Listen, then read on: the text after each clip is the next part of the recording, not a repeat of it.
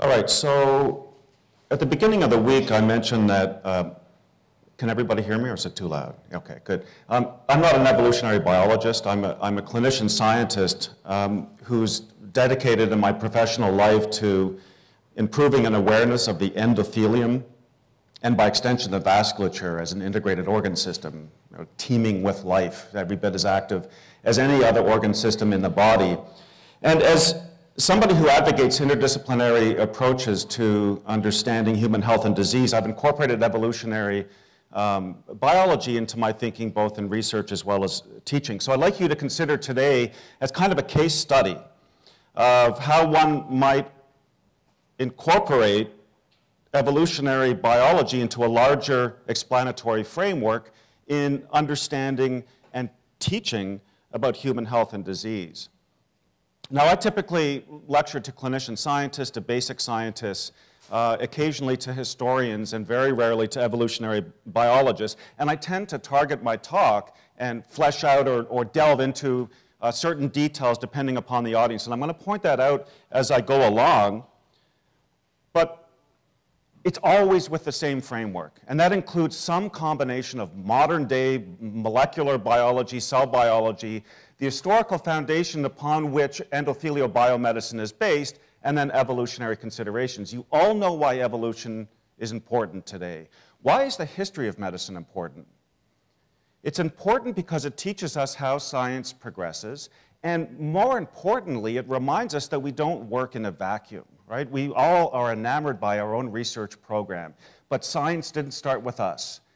It didn't start with the molecular revolution or cell theory or even natural selection. In fact, it began in the days of the ancient Greeks when people like Hippocrates and Aristotle began to ask questions about non-divine natural causes. Galen, who I will mention in a few moments, adopted and built on the system of the ancients. William Harvey took Galen's system and completely turned it upside down, and we continue to build incrementally and only incrementally on Harvey's system. All right, so to state the obvious, and likely as a result of time-distance constraints of diffusion, we have evolved all, or at least most multicellular organisms, a cardiovascular system. In vertebrates, the cardiovascular system is closed. That is, blood is always maintained within the confines of blood vessels. Blood is oxygenated in the lungs. It is then distributed to the arteries, uh, to the various tissues of the body by way of the arteries. Blood releases or exchanges gases as well as nutrients at the level of the capillaries and is then returned to the lung for reoxygenation. And in effect, blood goes around and around the body in a circular motion. Now, this entire system, which spans over 100,000 miles within a human body, is lined by a cell lining called the endothelium. The endothelium is a spatially distributed organ system. It pervades every organ in the body, from the tip of the nose to the tip of the big toe. In fact, blood vessels are no further than a few microns away from every tissue cell in the body. So an average human being, the endothelium weighs about a kilogram, and it spans over 4,000 square meters of surface area. We now know that the endothelium, despite what it was believed to be several years ago, that is an inert layer of nucleated cellophane that simply served as a barrier between flowing blood and underlying tissue, that it really is involved in many physiological processes. It's a perm-selective membrane. It mediates trafficking of white blood cells from the blood to underlying tissue. It mediates hemostasis, that is the ability to maintain blood in the fluid state and in times of trauma or breakage or rupture of the blood vessels to clot and prevent excessive blood loss. It is absolutely critical in controlling vasomotor tone, and that means the constriction or the dilatation of blood vessels. It's involved in innate and acquired Im immunity and, of course, new blood vessel formation. The endothelium is not a single cell type. It displays remarkable heterogeneity in space and time, in structure and function, in health and disease. And this gives rise to the term that we use in the field of vascular biology, namely endothelial heterogeneity. So for example, endothelial cells that line the straight segments of arteries, but not veins, are oriented along the longitudinal axis of blood flow. From a functional standpoint, the endothelium displays a remarkable division of labor. So for example, endothelium that lines the arterioles of the cardiovascular system are primarily involved in controlling vasomotor tone through the regulated release of a number of vasodilators and vasoconstrictors. By contrast, endothelial cells that line postcapillary venules, which is the site of immunity of inflammation, mediate both plasma leakage as well as the trafficking of leukocytes, that is, white blood cells, between blood and underlying tissue through the inducible regulated expression of a number of adhesion molecules. Now, the arteries and veins are the conduits of the cardiovascular system. They're the highways, so to speak, that deliver blood and return blood back to the heart through the arteries and veins, respectively. Consistent with their role as transport vessels, their walls are thick, and that's particularly true in the case of arteries, made up of smooth muscle cells and elastin, and in this way they allow the artery to withstand the high pressures in systole and to provide elastic recoil during diastole. Now, if the artery and the veins are the conduits of the system, the capillaries are the business end. This is the marketplace. This is where all the exchange of nutrients and gases takes place between blood and underlying tissue. Consistent with Fick's law of diffusion, capillaries comprise the vast majority of the surface area of the circulation. Moreover, they're extraordinarily thin. They're essentially three-dimensional tubes of endothelium without any cell lining, except the occasional presence of smooth muscle cell-like cells called pericytes. They're like a speaker wire that have been stripped of its insulation. Now, the endothelium that lines arteries and veins is always continuous. They're, the endothelial cells are, uh, are together by virtue of zipper-like tight junctions, whereas the endothelium that line capillaries, they may be continuous, as shown on the left at the bottom, they may be permeated by tiny little holes, the so-called fenestrations, or they may have large gaps within them and a very poorly formed, discontinuous underlying basal lamina or basement membrane, depending upon the needs of the tissue. So for example, fenestrated endothelium is characteristic of organs that are involved in a high degree of filtration and secretion. One example being the kidney glomerulus, another example being uh, the endocrine glands. Now, when we talk about vascular, vascular biology, vascular medicine, vascular surgery, vascular research, if I line up 10 people on the street or I line up 10 physicians and ask them what we mean, 9 out of 10 will talk about the large arteries and large veins of the body. That is the sites of atherosclerosis and deep venous vein thrombosis, respectively. This is the domain of the cardiologist, the neurologist, and the peripheral vascular surgeon. And for good reason, because acute myocardial infarction and stroke cause the vast majority of mortality in the Western world. But it is noteworthy that we are focusing on just a few inches of the vascular tree, just a quantum dot relative to the vast expanses of microvessels that permeate the body.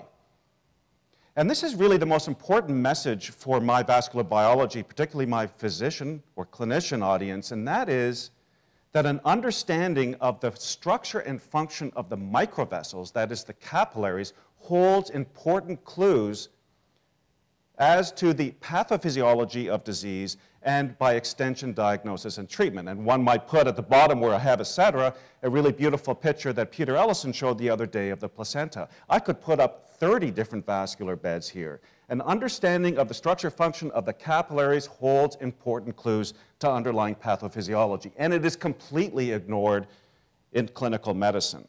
Now, our preoccupation with large vessels actually has its roots in history. So the ancients, such as Galen, felt that the arteries and veins were completely uncoupled, completely different systems, and in retrospect, it's understandable why. They couldn't see the invisible capillaries. Rather, what they saw was a series of vessels that carried red-colored uh, blood that were extremely thick-walled and always lay within deep tissues. That's why when we sort of examine our body, we can't find arteries or, or, or palpate arteries except in very few places like the wrist. By contrast, he saw thin-walled vessels that carried blue-colored blood that lay in both superficial and deep tissue planes and didn't pulsate, and that's the veins, which we can readily see all over the surface of our body. So according to Galen, blood was formed, and was made in the liver, and then was distributed through, by food that was brought up through the portal vein, and then was distributed by veins to the various tissues of the body, where it literally replaced the tissues that were lost by emanation. Some, and only some, of the venous blood went into the right ventricle and then was put into the lung through the pulmonary artery where it fed the lung. It didn't move around to the left ventricle. Blood then permeated through the right ventricle into the left ventricle. Air was brought in through the pulmonary vein into the left ventricle where it mixed with the blood that had permeated these imaginary invisible pores, which we now know don't exist. And the blood air mixture was sent around the body through the arteries. Now, these were open ended systems where air and blood simply diffused. It just percolated at the distal end of blood vessels, according to the needs, again, of the underlying tissue. Blood was not seen to circulate, but rather to ebb and flow, much like the tide. Now, following Galen's death, the science and biology moved into the monasteries, where both disciplines kind of languished under the ruling thumb of theology for 1,500 years. Galen's work really fit nicely with both Christian and Islamic doctrine. In fact, his greatest book on the use of body parts, which is a phenomenal read, and I recommend it to everybody, it's absolutely stunning, um, was really one long argument from design. Galen's word became scripture. To study medicine was to study Galen. The goal over 1,500 years was not to investigate, but rather to observe, at best, but mostly to collate, to synthesize, to interpret, and to teach Galen and the ancient Greeks.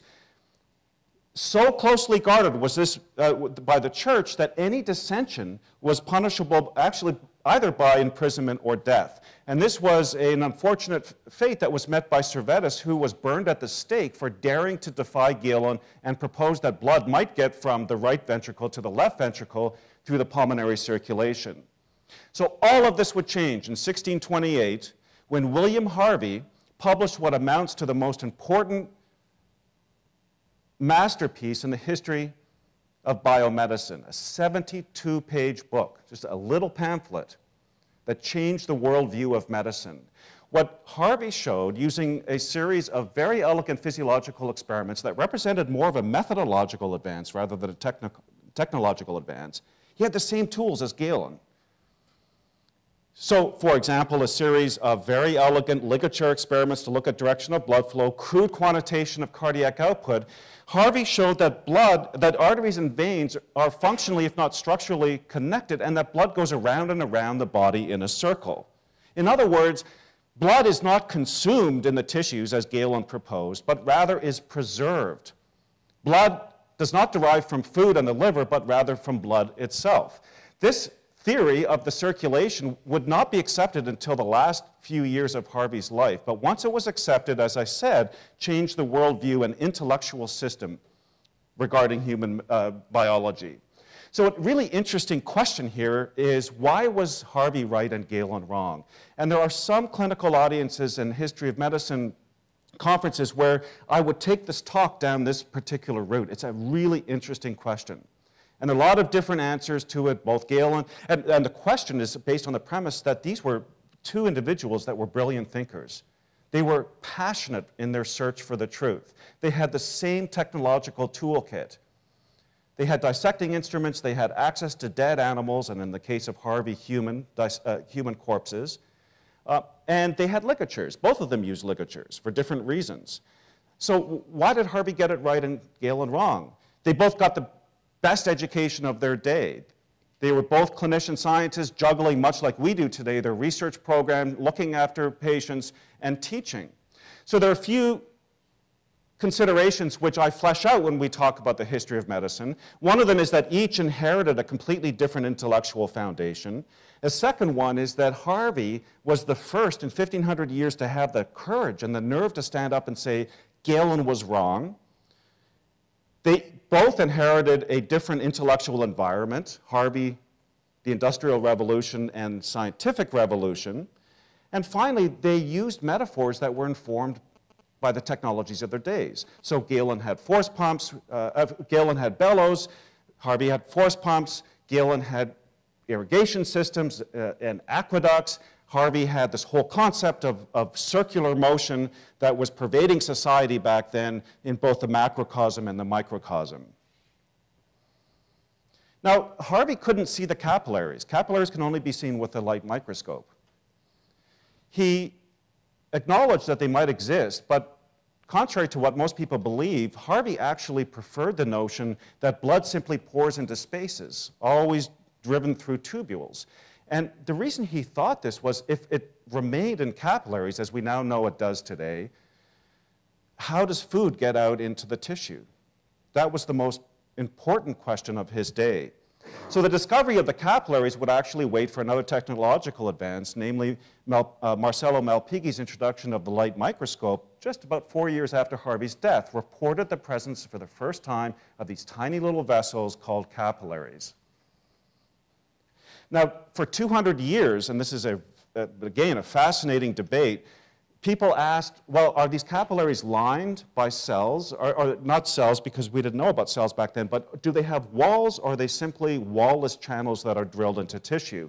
And this answer would not come until 1860, many, many, many, many years, 200 years later, when von Recklinghausen for the first time used a super, super easy, simple technological advance, and that was the presence of a stain, the use of a stain called silver nitrate, that converted an otherwise bland-looking tissue, the endothelium, into a tissue that had a cobblestone pattern. And this at the lower left is the paper. It's not an abstract. This is the paper that von Recklinghausen published. Can you imagine how, you know, if we could only publish eight lines, no figure at all, this was it. This was in German, and if you actually translate it, it doesn't talk about the endothelium, it, it talks about mesothelium. But people attribute the discovery of the endothelium to von Recklinghausen. All right, so physiological studies in the late 1800s provided evidence for a link between inflammation and permeability as well as leukocyte transmigration. And this was the heyday of the capillary.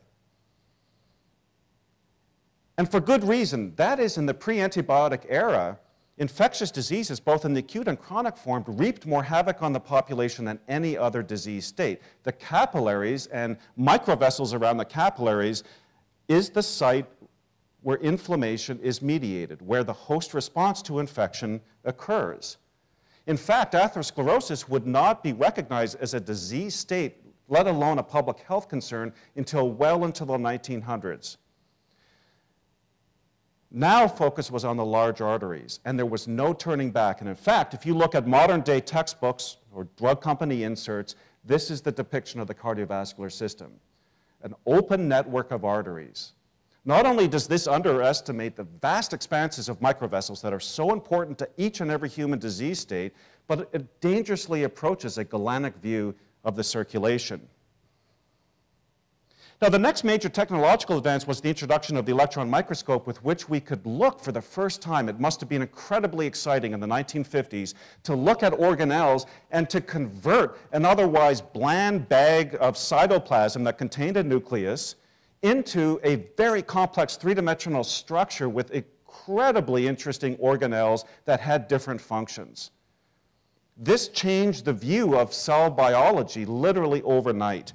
And if you plot the number of publications related to endothelial cells and endothelium, or look at the top line, endothelial cells and endothelium, according to the year, beginning when PubMed started in 1949, out to the time that we published this paper, 2003, what you'll see is a scattering of publications related to electron microscopy. And there's only so much you can show using electron microscopy. You're looking at dead tissue, you're looking at a static system, there's not much difference between an endothelial cell or any other cell type. There's really only one or two differences that appeared over the years. But then something happened in 1974 that led to an exponential increase in the number of papers, which now numbers over 100,000. Does anybody know what this is? What happened? Something happened. There was a technological advance. This was the introduction of cell culture. So this was introduced in 1974.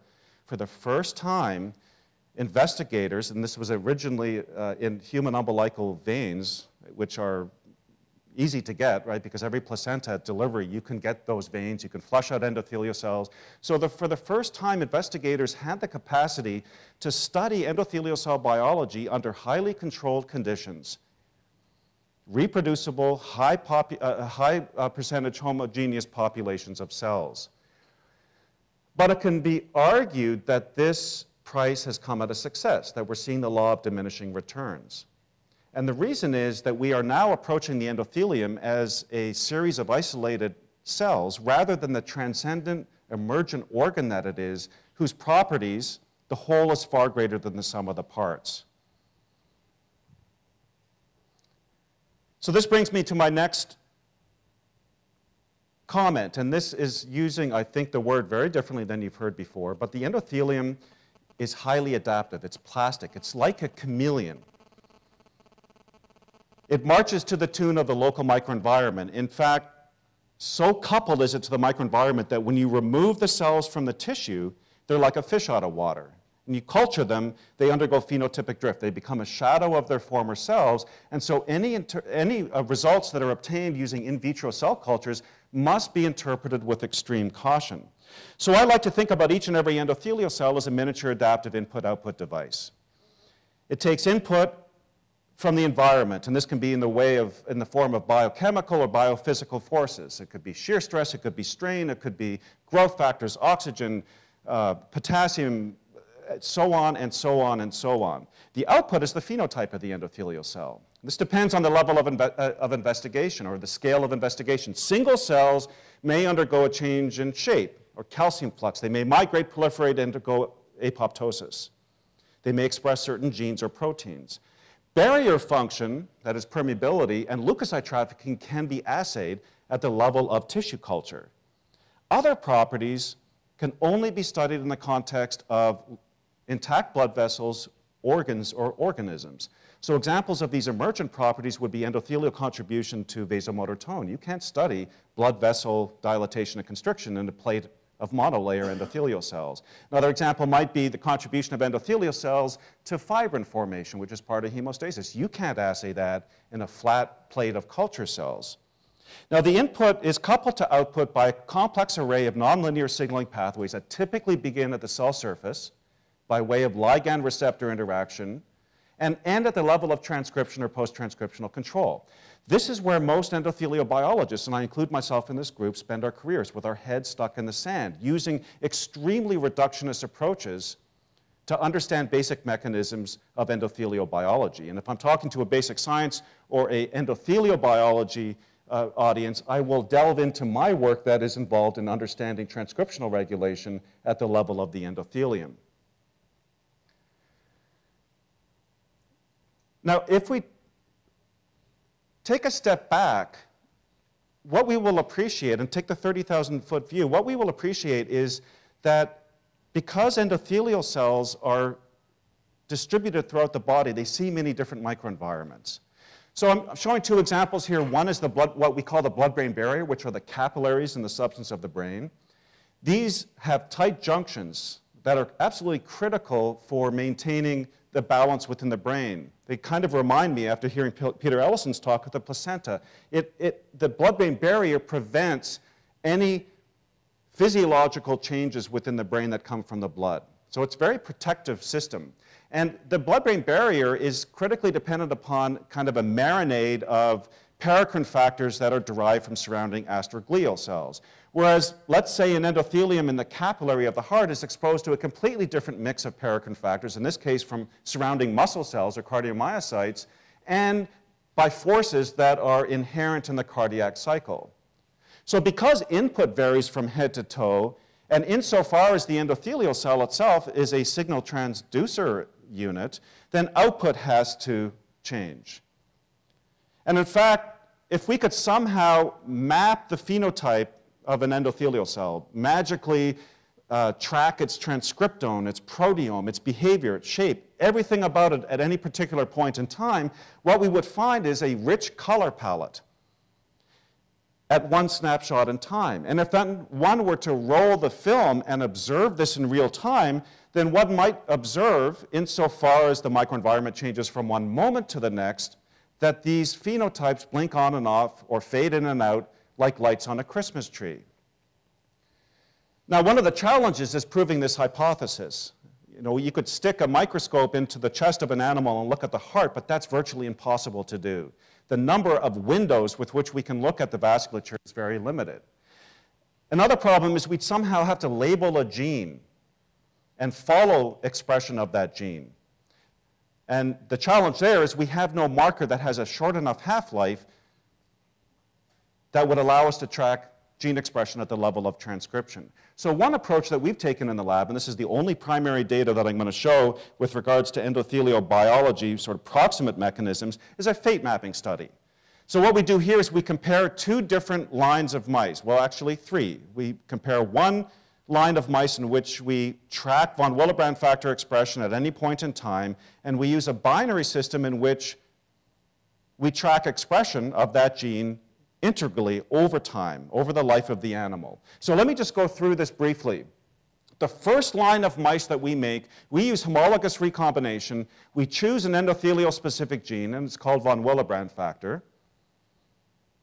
And we plop in a reporter gene called LAC-Z right where the von Willebrand factor transcript starts. So this is in effect a knockout, knock-in of von Willebrand factor.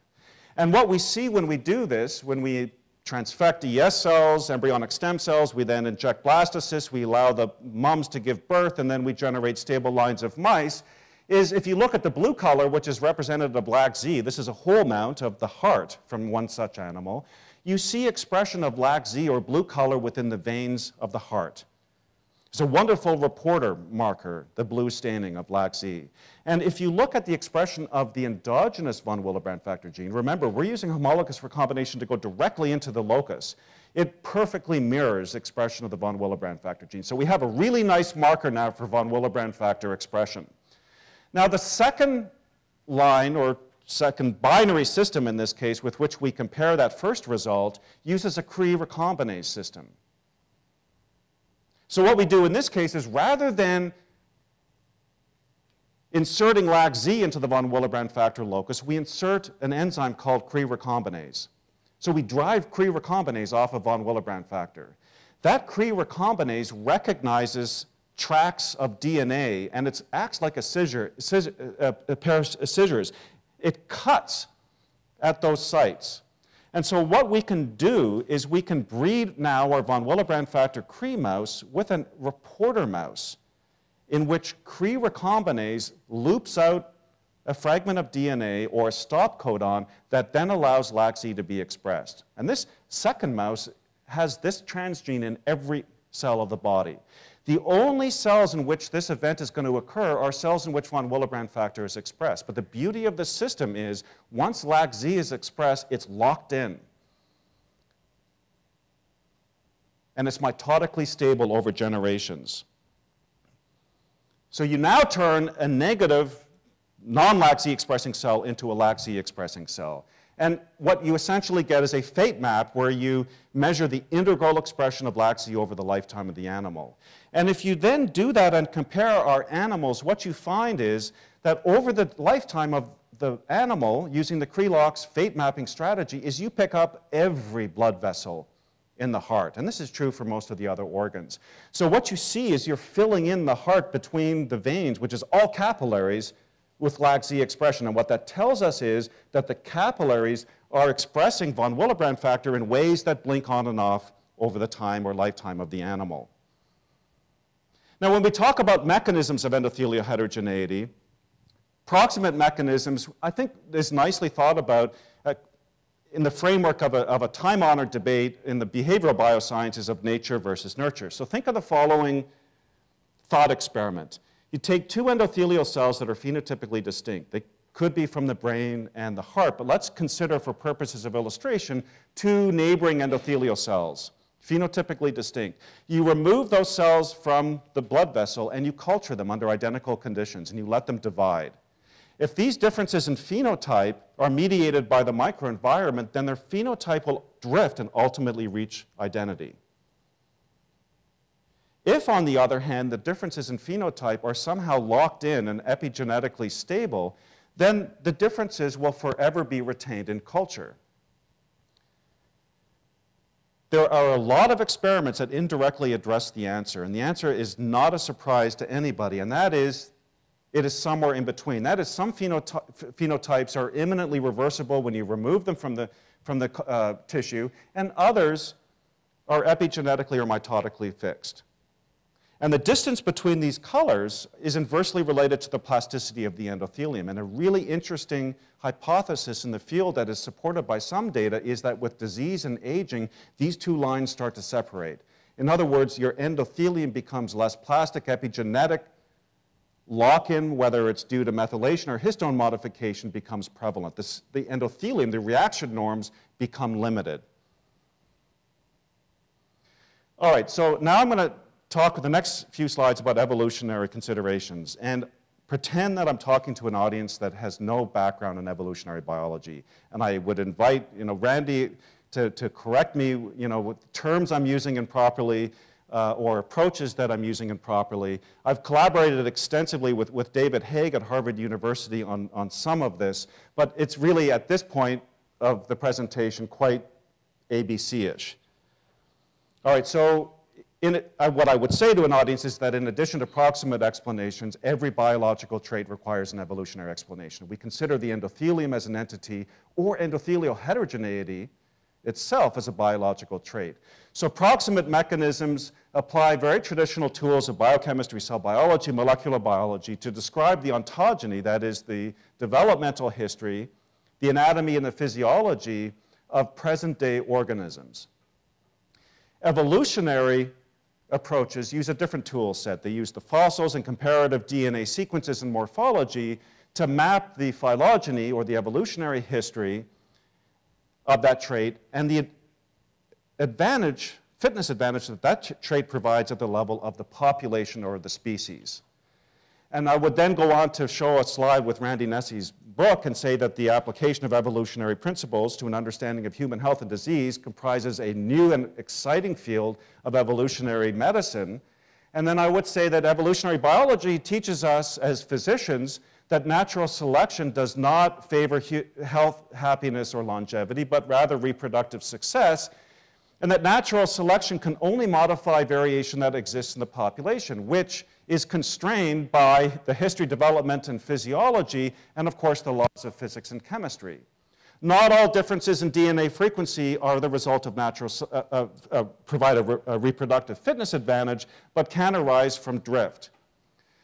No trait is perfect, and Randy alluded to this yesterday. Every trait can be made better, but by making it better, you will make another trait worse, and that brings up the central tenet of the field, and that is that the human body is a jerry-rigged bundle of trade-offs. And understanding the risk-benefits of these trade-offs provides insight into the vulnerability of the human to disease states. So I will then typically go on and show an example that resonates with my audience of vascular biologists or clinicians, and that is atherosclerosis. So Mr. Smith comes to the emergency room with acute chest pain and acute myocardial infarction the physician in the emergency room is interested in proximate mechanisms. What brought Mr. Smith to the emergency room? What are the proximate explanations? Was he a smoker? Does he have hypertension, diabetes, high cholesterol, all the classic risk factors for atherosclerosis? Or, now looking at the genetics, is there a family history of coronary artery disease? The evolutionary explanation asks a completely different question. And Peter, you can correct me if I'm wrong. The evolutionary question here is why Homo sapiens, out of all species on this planet, except for a few interesting animal models, develop atherosclerosis? And why are we, as Randy said, you know, the question isn't why, why do we select for this disease, but why, do we, why do, does natural selection allow for the vulnerability of the disease? And I would at this point say there are many considerations, and after listening to yesterday's talk, it could have been one of the puzzles that one group discussed and came up with more than what I'm going to show. One of them is that natural, that natural selection is working at the level of reproductive success, and that atherosclerosis is a disease of the aged, and is therefore not selected against. A second consideration relates to the architectural constraints of the system. So the closed-loop branching geometry of the cardiovascular system, by definition, engenders regions of disturbed flow. These regions of disturbed flow have been demonstrated in beautiful studies to contain endothelial cells that are sitting on the edge of inflammation. As one example, at branch points and curvatures, endothelial cells contain more NF-kappa B sitting in the cytoplasm than endothelial cells in the straight segments of the vasculature.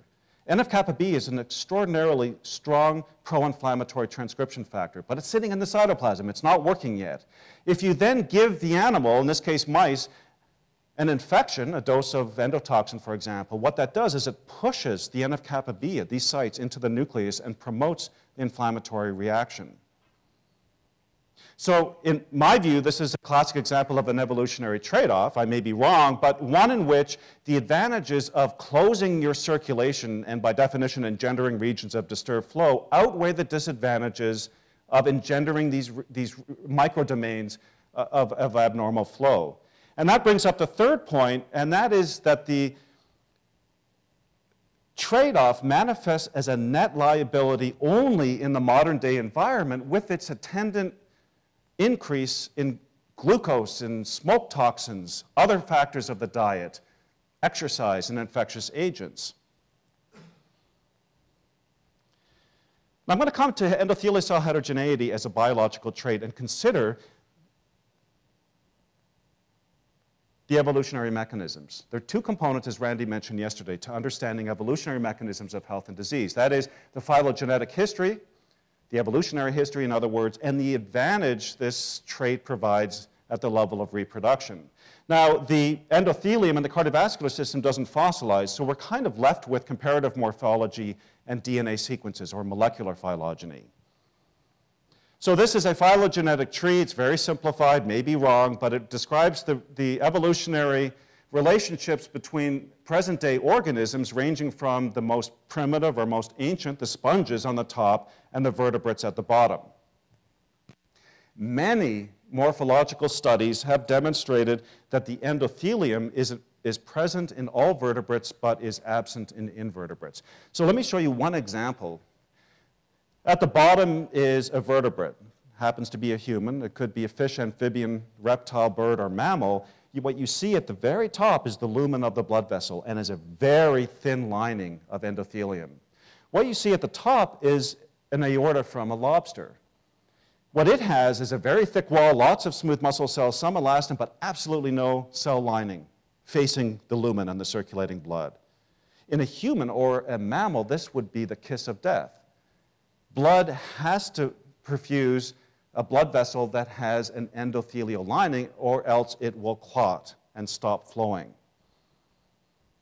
So just these simple data suggest that the endothelium evolved following the divergence of the cephalochordate and urochordate in the ancestral vertebrate, some 540 to 500 million years ago. And these are dates that David Haig gave me. I don't know whether they've changed today over a 40 million year period of time, the same period of time in which organisms closed their cardiovascular system, developed an entire clotting system of dozens of factors, a complement system that functions at a high level, and acquired immunity, all within 40 million years. It's remarkable.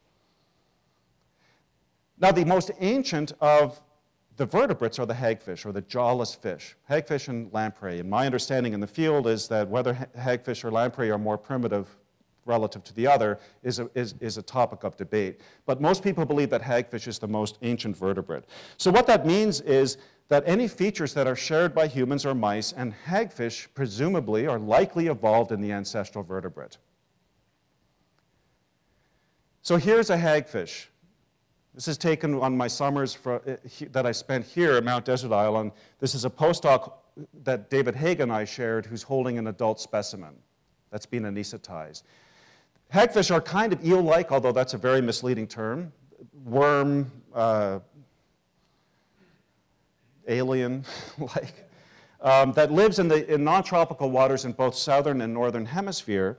They're bottom dwellers, and they can live a thousand feet below the surface, and they bury themselves under the ocean floor, from which they occasionally emerge to eat on dying or dead prey. And they do so by entering the mouth or the back end of the fish or prey, and they eat the animal from inside out. So another thing that is remarkable is they make tons of slime. It's the only vertebrate that does this. So what we've done on the left-hand side is we've injected intravenously a hagfish with histamine. This is a 10-year-old boy experiment. And what it's going to do is going to increase its slime production. You'll note that it starts to make figure eights. And it's probably doing that to rid itself of the increased slime, which now has the risk of clogging its gills. And if I fast forward this film, what you'll see is that when we artificially stimulate slime, this animal begins to completely clog up. And it's going to die unless we do this kind of hagfish equivalent of CPR, where we're taking some forceps and removing the slime. But look at the amount that it's making here. There's a lot of debate as to why these animals make slime. One possibility is that it allows, uh, it allows them to have a lubricant to get under the ocean floor or to get in the back end or front end of an animal to eat it. Another possibility, and this is, I think, more uh, recent evidence, suggests that it can actually di direct its, its slime um, flow so that it clogs the gills of predators. But we're not really sure why. As the most ancient vertebrate, the hagfish kind of blurs and bridges the transition between invertebrates and, and vertebrates. So like other vertebrates, it has a segmental body plan, that is recurring myomeres. It has a neural tube and a notochord. It has paraxial blood vessels, that is an aorta and a, in this case, uh, a posterior cardinal vein. And it has a digestive tract, and you'll see at the bottom here the presence of slime glands, very unique to the hagfish. There's several features of the hagfish that don't really represent vertebrates. It doesn't have a spleen. It has no bone. It has no cartilage. Its notochord persists in adult life. And its gills are external. So it has six openings on each side of the body. I, am sorry, internal, rather than teleost fish or cartilaginous fish whose gills are exterior. The cardiovascular system of the hagfish is closed, and that's what we would expect of a vertebrate. Blood is always maintained within the confines of blood vessels, but there's a couple of really cool, unique features of the hagfish cardiovascular system. One is that it has an extraordinarily low blood pressure, maybe a systolic pressure of 8, 9, or 10. There's insects out there with higher pressures. The total peripheral, total peripheral resistance is extraordinarily low. It has multiple hearts, and two of these comprise real cardiomyocyte muscle. And what you'll see on the following slide is that these two hearts actually beat at different rates. They have their own pacemaker. So the branchial heart is typical for any fish. The portal heart is unique to the hagfish. And it is believed that the portal heart, which is not present in any prevertebrate ancestor, evolved in the hagfish as an adaptive mechanism to propel blood that has come back at probably a 0.2 millimeter of mercury pressure through the systemic resistance of the liver back into the heart. The last feature that's really interesting about the hagfish cardiovascular system is that, uh, unlike other vertebrates, it has this enormous complex system of sinuses that contain about 30% of the blood volume of the animal. The most prominent of these sinuses is called the subcutaneous or dorsal sinus that that really goes along the back of the animal all the way from head to tail. It contains an enormous amount of blood. And what's fascinating is that these sinuses, which are connected to the systemic circulation, that the blood is mobilized from sinus to systemic circulation when the animal becomes agitated. So in effect, it provides a preload boost to the animal to improve cardiac output at times of stress. Now, what we showed was that the endothelium that lines the sinuses as well as the systemic vessels of the hagfish contains endothelial cells. And the endothelial cells are classic in many ways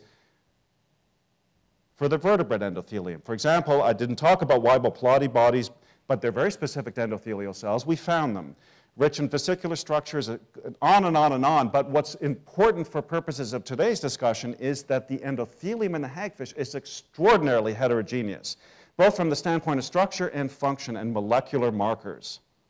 So let me show you a couple of examples. This is the skin of a hagfish. On the upper right is an intravital movie that we took on the fin. So what you're seeing is blood vessels moving very, very slowly through the capillaries. What you see in the top left is a cross-section through the body of, sorry, let me just go back, through the body of the hagfish. And what you'll appreciate here is the skin at the top, this huge dorsal sinus where it normally contains blood, uh, and then the rest of the body. But I'm going to focus on the skin for a moment. Here's an electron micrograph of the skin from the hagfish. If you look at the bottom left, and this is often if I'm talking to medical students, I'll say, well, what is it about this, this capillary at the bottom which makes this unusual for, you know, for what we're familiar with? And one of the answers is that the red cells are nucleated. And it's a really interesting question, right? Is that why mammals and no other vertebrates lost their nucleus? Anucleate red cells, anucleate platelets are specific to mammals. The other thing is that the capillary contains three blood cells. This is highly unusual. Capillaries typically have blood cells that, are, that go through you know, cell by cell by cell. So it's a larger diameter capillary than most vertebrates. But if you look at the intracellular, well, if you look at the endothelium, it's classic for, let's say, a mouse or a human endothelium. If you look at the right, where I've blown up one of the junctions between two endothelial cells, this has tight junctions, it has adherens junctions, it looks just like an endothelium from a vertebrate. If you look at the heart, it's a different story. Here, the endothelium is very foamy. It's electron lucent. It has a few mitochondria you see in the middle, the dark, and next to it is a large vacuole. And then you see these little kind of bridges between the surface and the underlying uh, basal lamina. And these are caveolae, or plasmalemmal vesicles, that allow the transfer through transcytosis of material from one side to the other of the endothelial cell, classic for vertebrate endothelium. And you can even see diaphragms on some of these caveolae, which again is classic for uh, vertebrate endothelium but it's a foamy appearance. It looks strange. We know this heart is in good shape because if we go down to the cardiomyocyte, it has very healthy mitochondria. So this is not an artifact of the preparation. And as a final example, here's the liver. This is bizarre. So what you see with the liver here is an hepatocyte at the bottom, the lumen of the capillary at the top, and then you see one endothelial cell called EC2, but look at endothelial cell 1. It has a huge gap you could drive a truck through. And if you look at multiple sections of the liver, this is what you see. You see very, very easy communication between the lumen of the blood vessel and the underlying hepatocyte. So what this tells us is not only did endothelium evolve in the ancestral vertebrate, but endothelial heterogeneity as a biological trait also evolved right from the beginning. In other words, it's not an extra add-on during evolution, during mammalian evolution, for example, it's not just an intellectual curiosity or plaything. It, it, it's really part of the very fabric of the endothelium. It's not just a descriptor of multiple phenotypes across the circulation. It is a core property in and of itself. Now, with regards to the second question, this is much harder, obviously. What was the fitness advantage that was provided not only by the endothelium, which is an interesting question in itself, but what fitness advantage was provided by the heterogeneous nature of the endothelium? Well, it's likely that endothelium became heterogeneous right from the start because it has to subserve so many needs across the body. It marches to the tune of the microenvironment. It has to target what it's doing to the needs of that tissue environment. Another consideration is that the endothelium has to cope with many different environments. So, for example, if you look at the kidney, which is my favorite example, the endothelial cells that live down in the inner medulla are exposed normally to a profound hypoxia, hyperkalemia, hyperuricemia. How do they survive?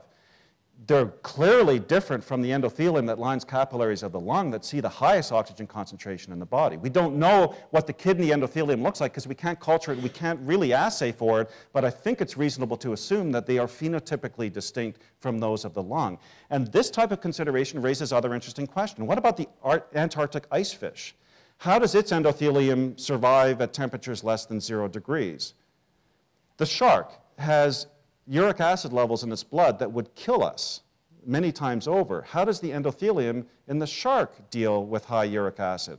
How about the individual that goes to high altitude or dives deep down or goes into space? How does its endothelium adapt to pushing the limits, the, the, the normal uh, range of, of, of, limits that the endothelium typically sees? These are really interesting questions and in some cases uh, clinically important. So one reason to study the history of medicine is not so much to learn the mistakes of our predecessors, but actually to return to new questions. Galen was many things. He was, he was arrogant, he was, he was obnoxious, he, he was a prolific writer who, you know, wrote circles around many people.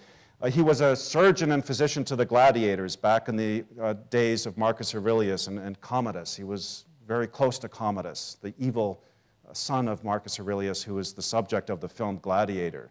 But he was a brilliant observer. And what Galen did is he would recognize the difference between arteries and veins. He recognized that arteries and veins carry different kind of blood. He talked about many different blood vessels throughout the body. The renal vessels, the pulmonary vessels, the vessels in the arms. And he said, these are different than these ones, and these are different than those. There was a dynamic complexity to Galen's system. It was alive. It was vibrant. It was vital. Harvey, by contrast, was a mechanist. His whole system, although it was correct, revolved around a force pump that forced the blood around and around the body in a circle. There was a certain periodicity and monotony to his system. He didn't talk about differences in blood vessels. With one exception, he noted veins with, uh, he noted valves within the veins of humans. He thought that differences in the color of blood was an artifact of taking blood. In other words, that when you put a needle into an artery, the reason it's red is because you have lots of pressure forcing the blood out, and that turns the blood from blue to red. He got it all wrong. He didn't recognize that there is a dynamic complexity to the system.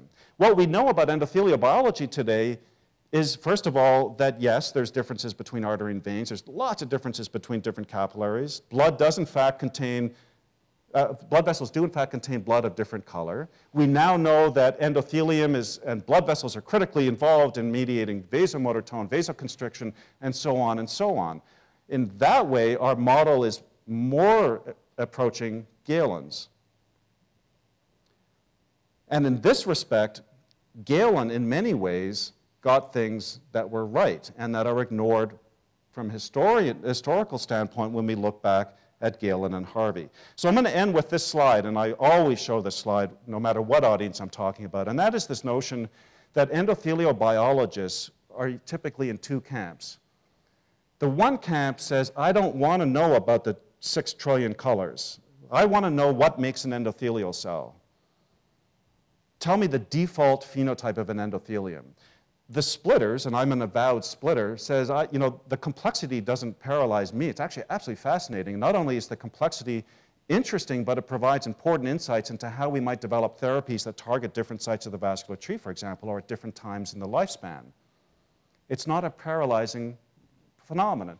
The, both questions are, are right in different contexts. So somebody who's interested, for example, in understanding, well, what makes an endothelial cell different from a cardiomyocyte, you know, it's not such a bad idea to say, let's put the colors aside and think about a common color. What is it that really makes this lineage move and go?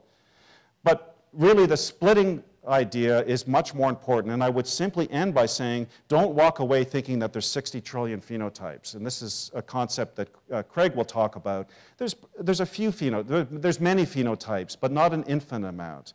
Endothelial cells kind of follow attractor basins, and, and there's some phenotypes that are more stable than others. But the important point here is that the endothelium displays multiple phenotypes whose understanding is important for treating human, uh, humans with disease. All right, so I'd like to end there, and if there are questions, I'd be happy to take them.